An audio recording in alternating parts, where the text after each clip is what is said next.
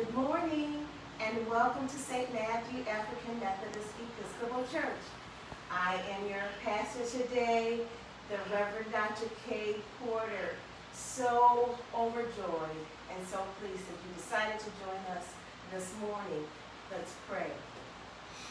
Most precious and loving Father, we thank you for another opportunity to stand behind the sacred desk. Use me, Lord, for your glory. Take out anything that's not like you. And may the words of my mouth and the meditation of my heart be acceptable in thy sight. For you are my rock, you are my redeemer, my Savior and my Lord, the love of my life. To you I give all the glory, honor, and praise. And in the mighty name of Jesus I pray. Amen. Amen. We need to hear from you. We need a word from you. If we don't hear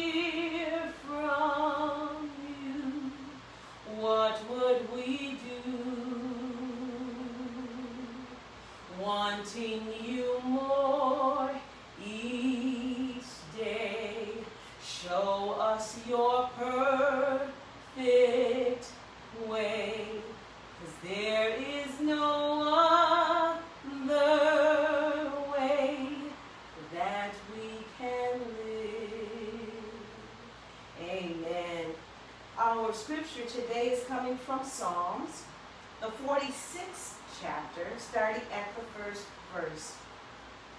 And I'm reading from the New International Version of the Bible. God is our refuge and strength, an ever-present help in trouble. Therefore we will not fear, though the earth give way and the mountains fall into the sea, heart of the sea. Though the waters roar and foam, and the mountains quake with their surging. There is a river whose streams make glad the city of God the holy place where the Most High dwells. God is within her. She will not fall. God will help her at break of day. Nations are in uproar. Kingdoms fall. He lifts his voice. The earth melts. The Lord Almighty is with us. The God of Jacob is our fortress. Come and see the works of the Lord, the desolations he has brought on the earth. He makes the war cease to the ends of the earth. He breaks the bow and shatters the spear. He burns the shields with fire. Be still and know that I am God. I will be exalted among the nations. I will be exalted in the earth. The Lord Almighty is with us. The God of Jacob is our fortress.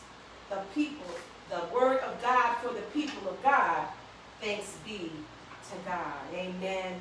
So we're going to place emphasis on the 10th verse, which says, Be still and know that I am God. I will be exalted among the nations. I will be exalted in the earth. If I were to put a title on this text, it is Be Still. Be still. When you hear that, that should just cause some kind of calm and peace to overtake you. Be still. Amen. While scrolling through the channels of my television, I came upon the movie Karate Kid with Jackie Chan and Jaden Smith. I must admit that I have never watched the movie in its entirety, but on this particular day I did. All week, I have been asking and seeking God for direction on what he would have me to preach to you today, and I heard in my spirit, be still. As I continued to watch the movie, there was a scene where Jaden Smith, known as Dre in the movie, was watching a woman who was doing a certain kung fu movement on a clip that was attached to a structure that was carved into a mountain. As she performed each movement, she was staring in the eyes of a cobra, and both the woman and the snake were moving simultaneously, perfectly in sync with the other. One would think that the woman was mimicking the movements of the snake. Dre turned to Mr. Han, Jackie Chan, say, uh, saying, Did you see the woman and the cobra? She and the cobra were like this. And she was copying the cobra. Mr. Han said, Dre, you weren't watching closely enough. It was the cobra that was copying the woman. He had the boy to look into a water, a basin of water, and then he asked him, what do you see? The boy first said, I see me, or my reflection. Mr. Han said, that is correct. He said that the woman was like still watcher, quiet and calm. In here, pointing to the boy's mind, and in here, pointing to the boy's soul. So the snake was reflecting her actions. and the boy replied, like a mirror. Then the boy said, she controlled a snake by doing nothing? Then Mr. Han looked at the boy very seriously and said, being still and doing nothing are two different things. Beloved, today, God is saying being still and doing nothing are two very different things.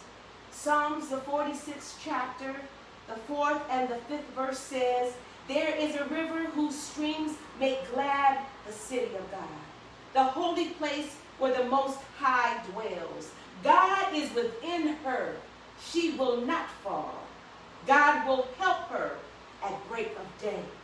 God's river is the continual flow of his grace, glory, and power in the midst of his faithful people.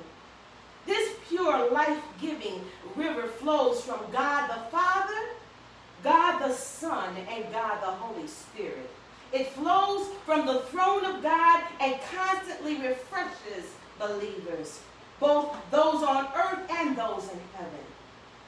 The most significant blessing of this river is that it brings God into the midst of his people.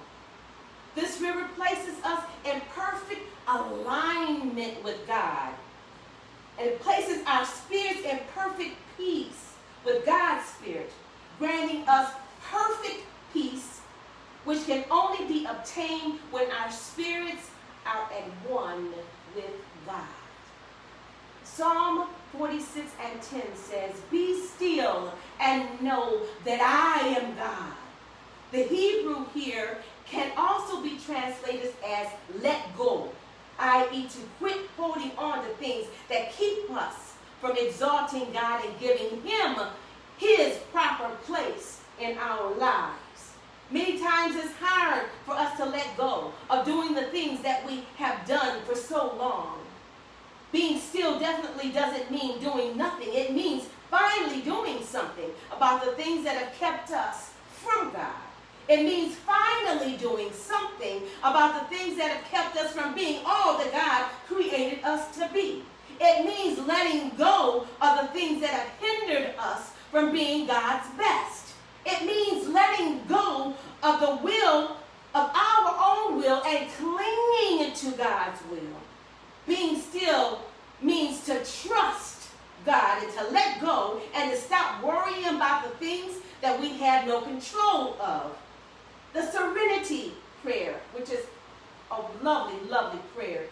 God grant me the serenity to accept the things I cannot change, the courage to change the things that I can, and the wisdom to know the difference. Being still provides us to hear from God and to hear what he is saying. And God will tell us when it's time to do what he wants us to do. Being still allows us to hear from God and to tune out all the other voices of distraction. Being still helps us to glean the wisdom of God that is needed to give sound advice instead of speaking on the things that we really have no knowledge of. Being still keeps us grounded on the things of God instead of being swayed every which way at the control of those who don't know God. And being still sharpens our focus and aligns our vision according to God's will. Hallelujah. Remember, when Jesus had to speak to the wind and the waves, telling them, Quiet, be still. And then the wind died down and it was completely calm. In Mark, the fourth chapter and the 39th verse, Many times we must speak to our own minds and souls and tell them, be still, quiet. Otherwise, the devil can cause such chaos and havoc within us that we lose control and lose our focus and lose sight of where God is trying to take us. God has given us the authority, hallelujah, to speak to our circumstances and to tell them, stop chaos and confusion in the name of Jesus. You no longer live here. My soul and my mind are at peace. Hallelujah. And then declare to your spirit that the Spirit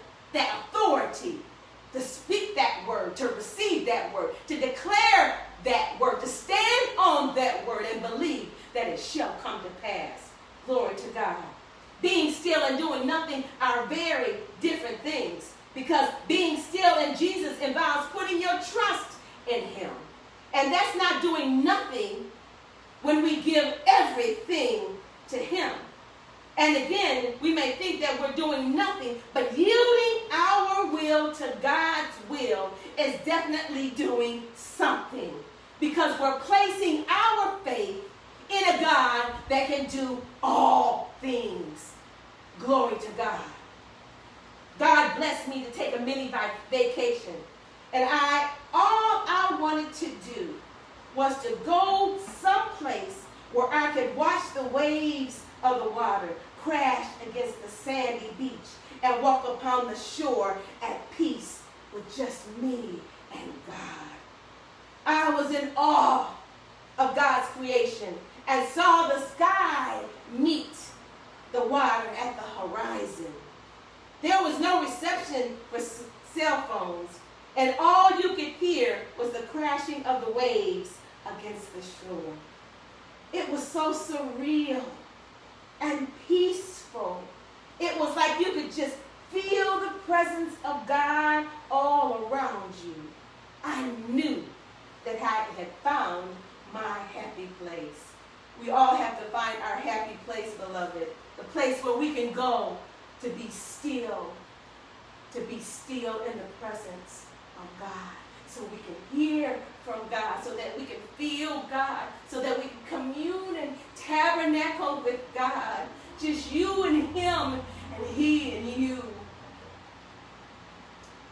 The third verse of one of my favorite hymns, entitled Peace Be Still, the third verse of this particular hymn by Mary Baker and Horatio Palmer say, Master, the terror is over. The elements sweetly rest. Earth, sun in the calm like a mirror, and heavens within my breast. Linger, O blessed Redeemer, leave me alone no more. And with joy I shall make the blessed harbor and rest on the blissful shore. The winds and the waves shall obey my will.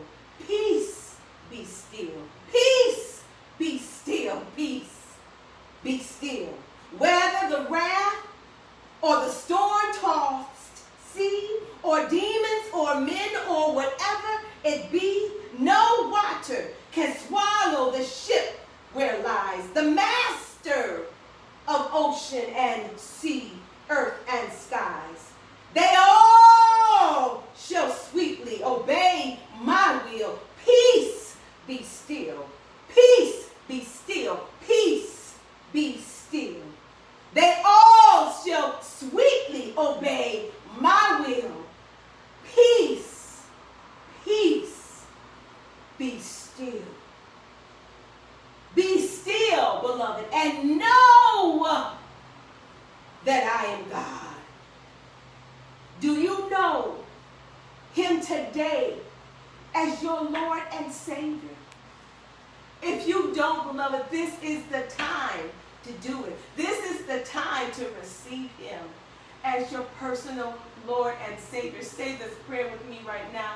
Father God, I know that I'm a sinner, saved by grace. Please come into my heart. I want to make you my Savior. I want to make you my Lord. I need the peace of God in my life. Take full control. Use me for your glory. Have mercy upon me. I receive you today. Come into my heart. Amen. If you said that prayer with me, beloved, then you are now part of the kingdom of God. Praise his holy name, and the angels are rejoicing.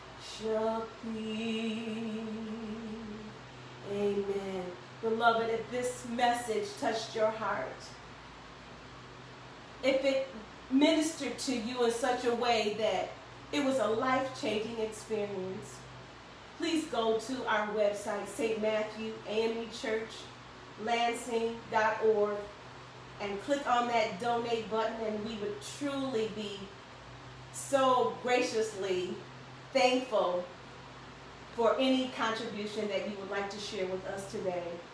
Please do that today. And please remember, I love you with the love of the Lord.